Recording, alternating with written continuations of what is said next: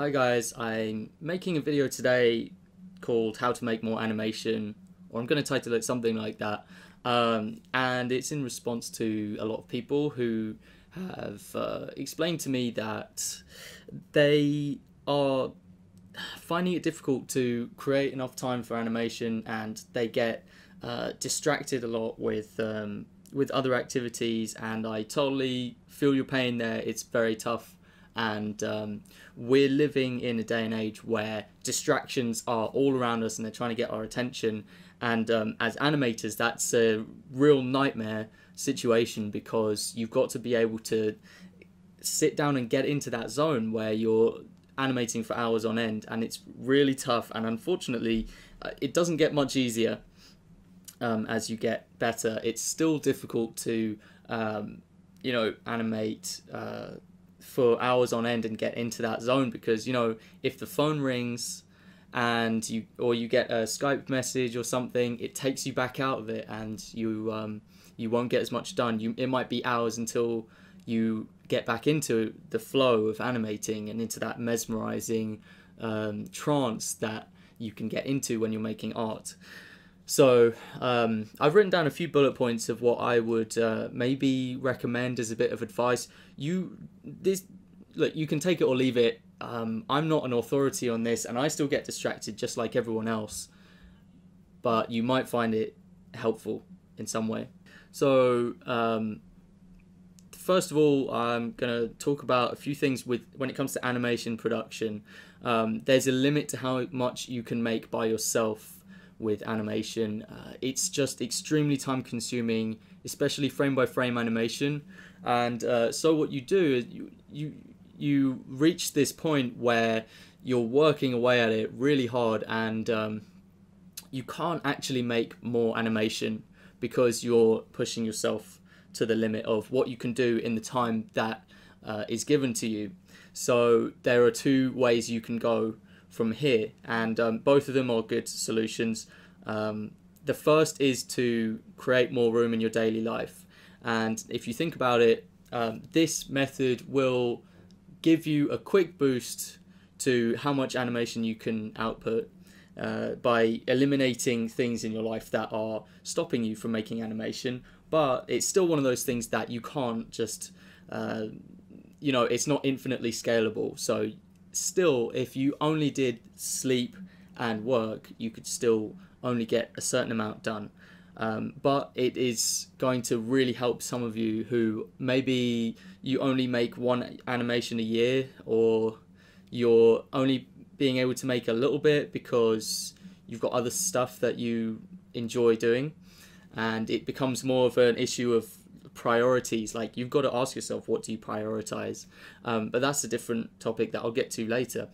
Um, the other option is to take on extra help. So you can do this by either collaborating with other people where it's a situation which is mutually beneficial or you can hire them and that is also a situation which is mutually beneficial. So um, hiring of course involves money and um, animators are not known for being uh, people with lots of disposable income so um, you know um, that too has a limit for most people, depending on what background you're from and uh, uh, you know how much money you've got in the bank account.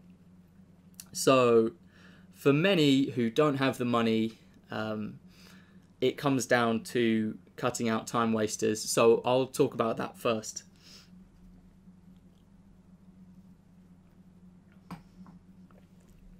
So um, the the mindset shift in the bigger picture is you have to turn your attention from being a consumer to a producer. Um, I know those are big words, but uh, basically, um, you need to start making stuff instead of just enjoying other people's stuff that they've made. Um, so the quickest biggest thing that you can just do that will just save you a chunk of time. Of course, I'm assuming here, but um, I would recommend you cancel a lot of your subscriptions to things. So these are things like Netflix, Steam accounts, um, Blinkbox, Hulu, all these subscriptions to TV stuff. Um, if you've got a TV in your room as well, um, sell it. Sell it to someone. All right. Um, if you've got Netflix, save yourself some money. Save yourself 10 dollars a month or however much it costs, and um, you know with that money you can save up for that Cintiq you've been wanting or something, and you can, uh, you know, push yourself further in your field. So um, you've got to take your energy out of things that are just sucking it up. So um, TV is a really obvious one. It's a really easy one, and gaming. Um, I know with the certain age group, um, gaming is like a, a big thing, and um, you know if you reduce it, you can uh, give yourself a lot of time to make animations.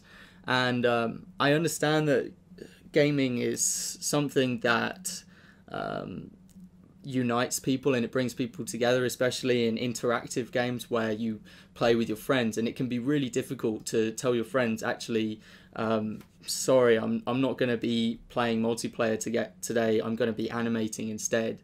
Um, but then what I would suggest you do is you find people who are equally interested in animation as you and become friends with them and then you know you can have Skype open and you can do calls where you're still working but you're in a call in Skype and that's much better than playing multiplayer for hours on end for nights on end um, so that for me is like once you do that I'm pretty confident you will double your time if you have previously been subscribed to these things and use them regularly.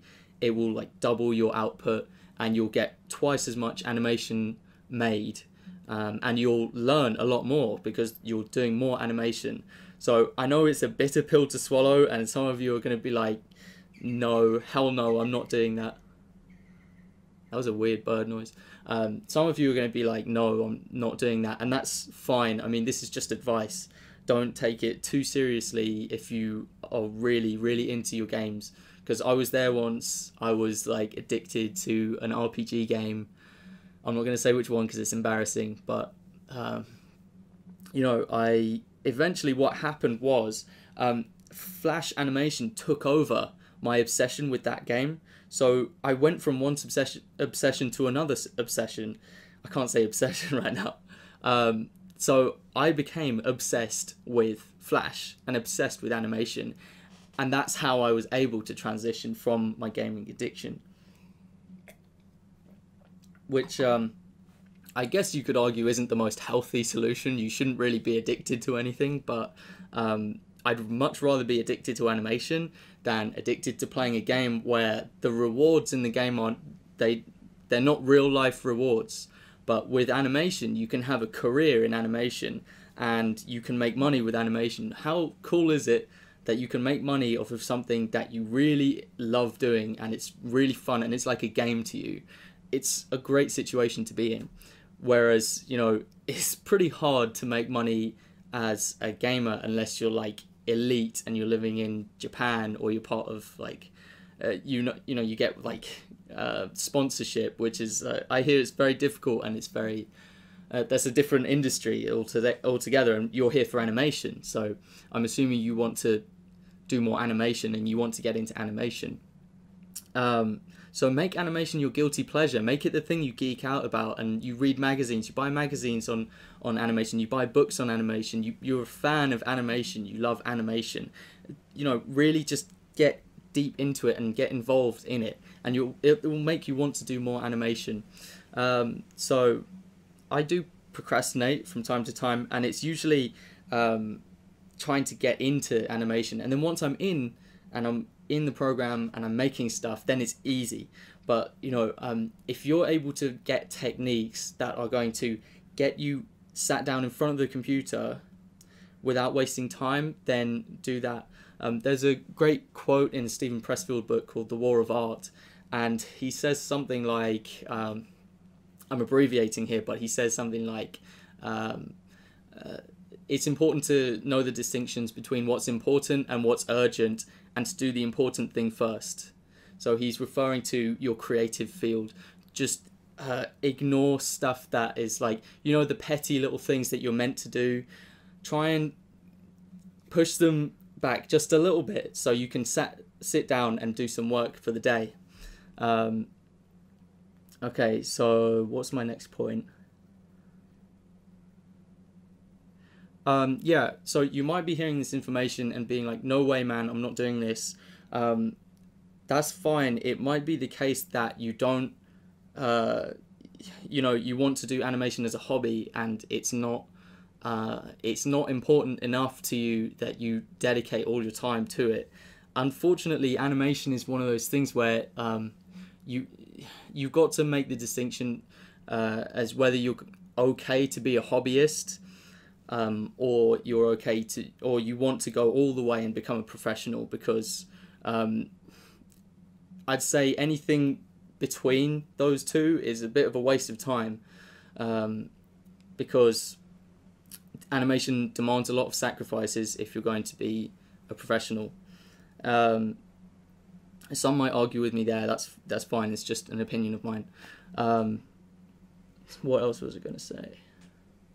Okay, so a quick little tip that I wanted to put in here. Um, set timers for yourself that can be really um, useful. So you can say i'm going to get this animation done over the weekend because i have nothing planned for the weekend. And then you squeeze like a massive amount uh, of work into a weekend. You might have like get very little sleep but what it does is it it squeezes out all of the unnecessary stuff in your day. And so because you have to meet the deadline so you're, if you're saying you have to meet the deadline then it squeezes out all the stuff that's not necessary because you just you can't do it by choice.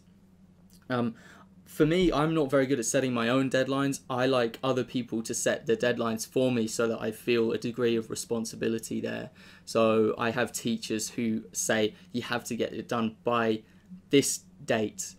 And then I say, well, I don't have a choice. I have to get it done by this date. So even if it's not perfect, the animation, um, I will strive to get something presentable to them by that date. And uh, you know, you can do a lot in a very small amount of time uh, if you test yourself in this way.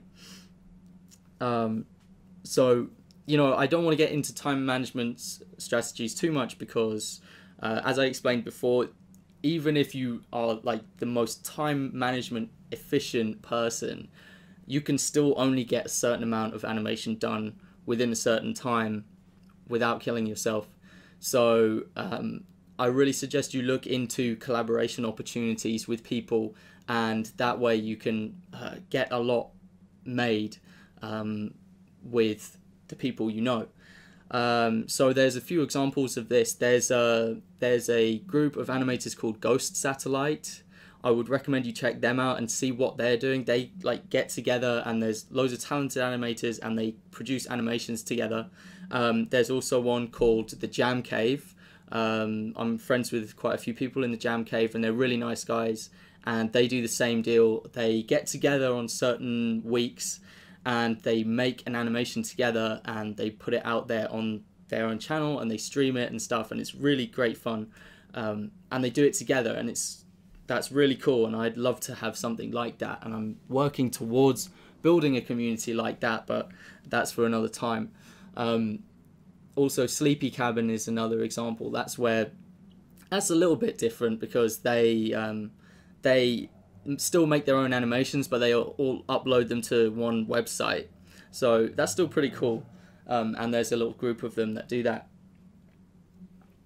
Um, so yeah, those are some of the ideas that I've had for this. I hope it's been helpful. Um, remember, you've got you've got to at some point make the decision are you going to go all the way are you going to be a pro animator um, this isn't necessarily about skill it's about like the the mindset and the um, the attitude towards it i think that if you make the decision to go into being a pro animator it doesn't matter what skill level you're at you can get to a professional skill level even if you don't consider yourself very talented. Um, I didn't draw growing up. I didn't draw as a child. I wasn't talented at drawing, and um, I got into animation because I started getting really interested in it, and that's all that counts. It's just, are you super super interested in it? Are you fascinated by the subject? Okay, after that, that's fine. If you have that inner resource, then you don't need necessarily to um, have natural born talent. Uh, but yeah, if you're not um, if you're not cut out for it, if you're not willing to let go of certain obligations, if you're not willing to take risks, um, financial risks, you know, because it's not a steady paying job and stuff like that, then uh, you might have to just have it as a hobby and only you do it occasionally and just do it for fun and not progress at the same speed as someone who's going pro. So yeah, I hope this has been helpful and um, yeah, I'll see you in the next video. Please uh, check the links in the description. Just open up the description and have a look through the links that I offer there. And um, if you like, go to my website. It would be really cool if you do that. Join the forum. Um, check out the workshops that I offer. Uh, yeah, that would really help me out. And I'll see you in the next video. Goodbye. I scale it with the center point being the feet because I don't want the feet to move. So I just drag that center point to the feet and then scale around it. One thing I think I could have done is laid out a line on the floor for the robot to follow and that might have been